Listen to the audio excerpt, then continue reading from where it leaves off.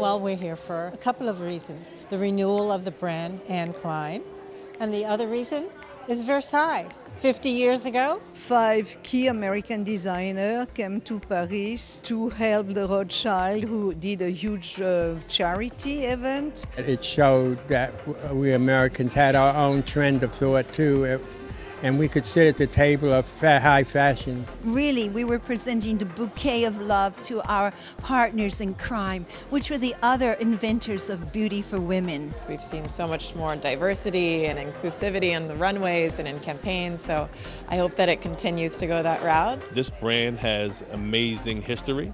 It has legacy, and we want to carry that legacy forward and make sure that we, you know, we're responsible in terms of telling the story, but telling the story in a way that it can help create a better story going forward.